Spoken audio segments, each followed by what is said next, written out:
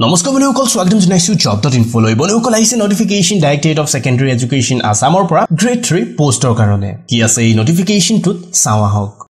আহিছে notification directorate of secondary education আছামৰ পৰা গ্ৰেড থ্ৰী পষ্টৰ কাৰণে। ফাৰ্ষ্ট পষ্টৰ নাম হৈছে junior assistant head office post আছে বিছটা ইয়াৰে ভিতৰত যদি আমি চাওঁ আনৰিজাৰ্ভ পষ্ট আছে চাৰিটা।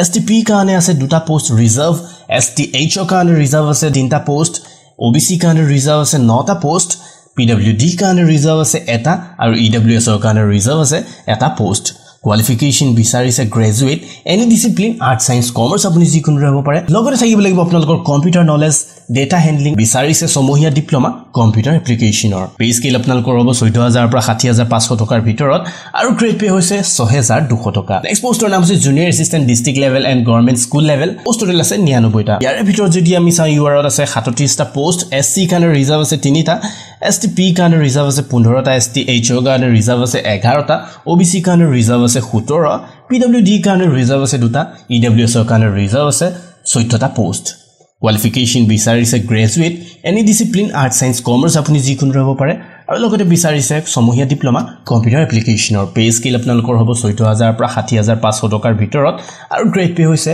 পাঁচ হাজাৰ ছশ টকা। নেক্সট পষ্টৰ নাম হৈছে ষ্টেটিষ্টিকেল এছিষ্টেণ্ট পষ্ট টোটেল আছে চৈধ্যটা। ইয়াৰে ভিতৰত ৰিজাৰ্ভ পষ্ট আছে চাৰিটা। এছ চিৰ কাৰণে ৰিজাৰ্ভ আছে এটা এছ টি পিৰ কাৰণে ৰিজাৰ্ভ আছে দুটা এছ টি এইচৰ কাৰণে ৰিজাৰ্ভ আছে এটা। অ' বি চিৰ কাৰণে ৰিজাৰ্ভ আছে চাৰিটা পি ডাব্লিউ ডিৰ কাৰণে ৰিজাৰ্ভ আছে এটা ই ডাব্লিউ এছৰ কাৰণে ৰিজাৰ্ভ আছে এটা পষ্ট কোৱালিফিকেশ্যন বিচাৰিছে গ্ৰেজুৱেট ষ্টেটিষ্টিক বা আপোনালোকে কৰা হ'ব পাৰে ইকনমিক্স বা মেথছত ইয়াৰে ভিতৰত এটা ছাবজেক্ট থাকিব লাগিব আপোনালোকৰ গ্ৰেজুৱেশ্যনত মন দিব। লগতে বিচাৰিছে কম্পিউটাৰ নলেজ বিচাৰিছে ছমহীয়া ডিপ্ল'মা কম্পিউটাৰ এপ্লিকেশ্যনৰ পে স্কিল আপোনালোকৰ হ'ব চৈধ্য হাজাৰৰ পৰা ষাঠি হাজাৰ পাঁচশ টকাৰ ভিতৰত আৰু গ্ৰেড পে হৈছে সাত হাজাৰ ছশ টকা। এই সকলোবোৰ পষ্টত এপ্লাই কৰিবলৈ কাৰণে আপোনালোকৰ বয়স হ'ব লাগিব। ওঠৰৰ পৰা আঠত্ৰিছৰ ভিতৰত এইটিন টু থাৰ্টি এইট আছে age relaxation as per government rule আৰু লগতে থাকিব ৰিজাৰ্ভেশ্যন ফিমেল কেণ্ডিডেটৰ কাৰণে as per government rule selection প্ৰচিজাৰৰ ফালে যদি আমি চাওঁ হ'ব আপোনালোকৰ ৰিটাৰ্ণ এক্সামিনেশ্যন এশ নম্বৰৰ আৰু লগতে আপোনালোকৰ হ'ব কম্পিউটাৰ প্ৰফিচিয়েঞ্চি টেষ্ট পঞ্চাছ নম্বৰৰ। মানে দুটা ষ্টেজত হ'ব আপোনালোকৰ চিলেকশ্যন ফাৰ্ষ্ট হ'ব আপোনালোকৰ ৰিটাৰ্ণ এক্সামিনেশ্যন আৰ বেষ্ট এশ নম্বৰৰ আৰু লগতে ছেকেণ্ড আপোনালোকৰ হ'ব কম্পিউটাৰ প্ৰফিচিয়েঞ্চি টেষ্ট পঞ্চাছ নম্বৰৰ হাউ টু এপ্লাই কেনেদৰে আপোনালোকে এপ্লাই কৰিব অনলাইন এপ্লাই কৰিব পাৰিব ডাইৰেক্টৰেট অফ ছেকেণ্ডেৰী এডুকেশ্যন আছামৰ অফিচিয়েল ৱেবছাইটৰ পৰা আপোনালোকে কৰিব পাৰিব।